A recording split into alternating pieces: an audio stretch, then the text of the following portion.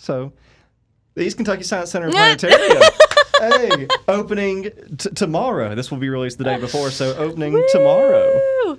Yeah. Are are you excited? I am so excited. All all of us are really happy to see people back in the building. How how long has it been shut down for? It's It been was- quite a while. yeah, it was before I arrived. Um earlier in the year, I think around March. So that sounds I right. remember. That Yeah. right.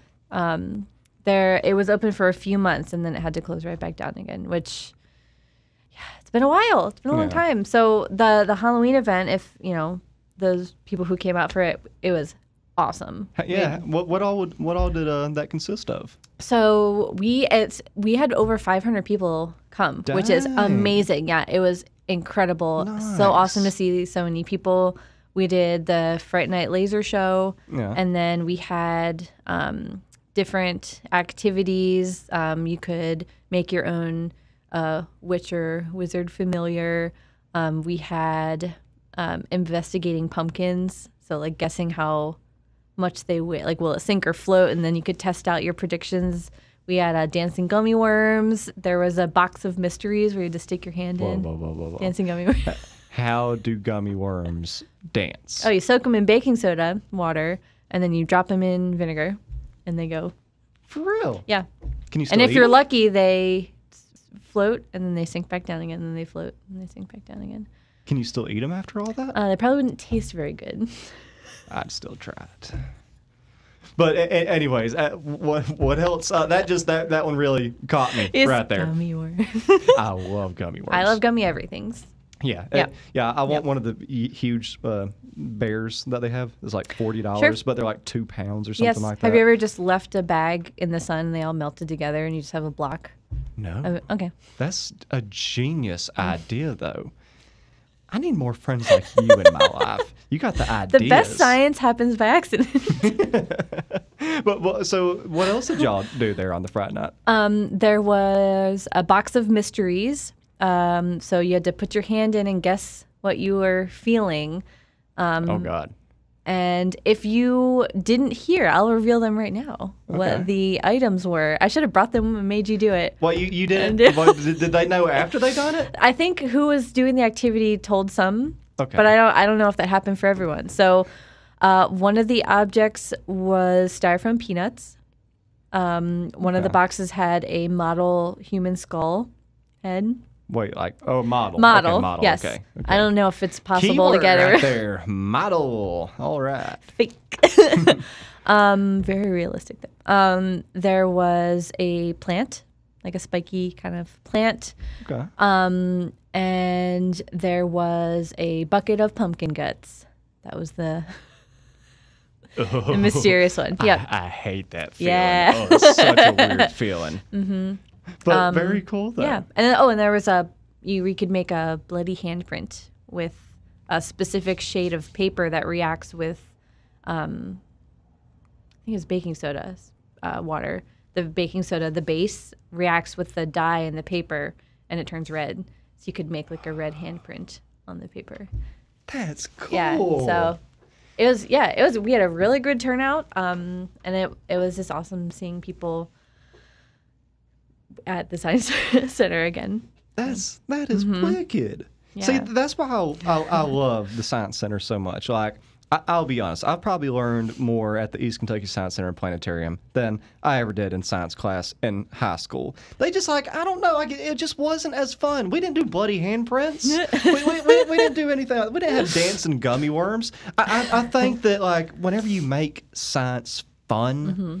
Then it really gets the gears going. Right. Not not just for young folks. I'm sitting here. I'm Oh, 25 sure. years old and I want to do dancing gummy worms Sure. now. Yep. I think that everybody's a kid at heart if you get them in, in, in the right space. But if Mm-hmm. you make science fun, then you get people interested. Yes. You can't yeah, just sit, absolutely. you can't sit there and preach to them and give them a big quiz and just make them watch videos. Mm-hmm. No, make it fun. It, it's a very fun thing to do. A very fun field. That's why I got into it because I used to teach in the classroom, and it's it's very different. Um, and the teaching part's what I loved, but the it's hard. I mean, being a te- classroom teacher is hard. Yeah. There's a lot that you have to follow and uh, achieve, and but that's to be honest, that's what I want the Science Center to help with. Um, all you know, if there's any teachers listening, that's that's what I want us to do for you. We want to take some of that stuff that you have to do and help you with it. If that makes sense. You know. That's cool. So yeah, so we'll be open Tuesday through Saturday. Nice. Um, Tuesday to Friday, the mornings are are set for school groups, and then from one to four, Tuesday to Friday will be open for the public. You can come on in. We'll have a show in the planetarium every hour okay. um, at one, two, and three. Did it that way so it's easy to remember. nice, nice. Um, and then on Saturdays we'll be um, same thing. We'll have a show at one, two, and three. Um, we've been from noon to four on Saturdays. I'm glad that y'all are doing Saturdays as well. Because like for some people, you know, it, is difficult to get there in the middle of the week and stuff like that. So it's I think it's so important and great that y'all are doing it on Saturday Yeah. as well. Because like people like me that have to work, unfortunately, I'm going to be there on Saturday. Sorry, no, just kidding. it's, it's all good. And, and, and some people are lucky enough to get a Monday and Tuesday off, and well, a Tuesday and Wednesday off, Right. and then they can come down there and hang Right. out. Yes. What all is uh, going to be different with the uh, East Kentucky Science Center? Yeah, so we're actually, I'm glad you asked that because on Fridays, I'm actually going to start testing out a new kind of show in the planetarium where it's going to be me or one of our other educators just being there live and taking you. And I think I talked about this a little bit when we talked last time, but, um, you know, for example, one month might be the solar system, and we'll I'll actually take you on our digital planetarium system on a tour flying from planet to planet to planet, like zooming up to the surface, looking at different features on it and talking about the cool things about each planet and moons and, and different things like that. So I'm actually going to try that out, the 1 p.m. show on Fridays, um, to see what everyone thinks. Do you like this format? I'm really excited. Cool. Um, and if you're there in person and you know you have questions, I'll be there to talk to you about them. If you want to see something else, let's go see it. You know, I, I want this to be um, interactive. I want you to tell me what do you want to see or what do you Yeah. think? What are you thinking about? You know, so we're gonna test that out, and if we seem to like it, then we'll start offering that uh, probably in the weekends too. But Very cool. um, there's that, and then um, also we're going to be starting doing little um, demos and experiments uh, at certain times during the day, just out in our exhibit hall. So little little experience. We might bring out one of our animals to talk about it. Um, we might do an experiment like the dancing gummy worms. Who knows? like Yeah. that. Those kind I of things see that. we'll do little little tiny demos with with whoever's there and wants to come up and you know talk to the educator and learn about some topic. So we'll start doing that yeah. um, just out in the exhibit hall at at different times throughout the day.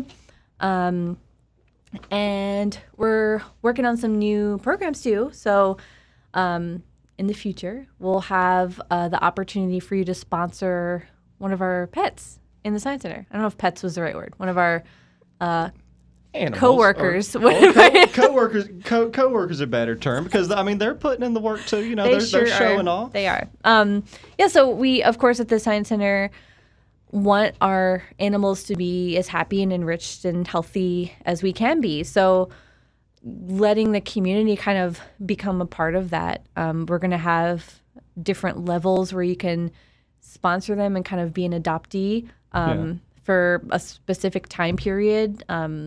Um, you can give this as a gift if you want, you know, one of your friends cool. to kind of That's a neat way do that think it. and and you know you can get special things like little video check-ins of the animal you can have your name displayed you can come have special visits this is all like we're kind of developing this little program where to bring the community as part of the museum as part of the science center and Yeah. yeah That is So- very cool. I, I think that that's such a unique uh, take that y'all are doing with the animals that Yeah. y'all have there. And you know, I, I think a majority of this area are all very animal loving people. And I, I'm I'm definitely going to be a part of that. What what all what all animals are going to be involved with the uh, science center? Yeah, so right now we have a group of hissing cockroaches, which I call the Waltons. We have um, Shelly, the marine turtle. There's Merle, the uh, terrapin, the box turtle, which I call him Merle because he is always tired, so he's haggard. So I call him Merle. That's a, that's, haggard, that's, so- a, that's a good name. Yeah. That's, that's Yeah. suiting. Yeah. Um, there is Sandy, a desert iguana, like a little, basically a little lizard that Yeah. super fast. Yeah. Um, we have Fidget the chinchilla, uh, Miss Piggy the guinea pig. Uh, there is Draco the bearded dragon, and then uh, Seymour the blue tongued skink. So we got a lot. We got a good, good little troop. Wow, you got, I mean, you got like a miniature zoo. We do, Basically. yeah. I can't wait to see the guinea pig. That is Yeah. one of the cutest animals on earth. She is amazing. She loves to talk, especially when you have food. I, I would say so. Yeah. I would say so. And is, is the dinosaur poop going to be there? it, w- it will be. Yes. Yes. That is like one of my favorite things to tell people Yep. about the science center. Like, listen, they have real dinosaur Yes, poop. we'll That is- have we'll have plenty of things that you can touch, um, and I might put them out on the table and not tell you which one's a dinosaur poop. Maybe you have to guess guess which one it is. Uh, it, it really is an amazing, an amazing place. I think it, was, it had to be 2019.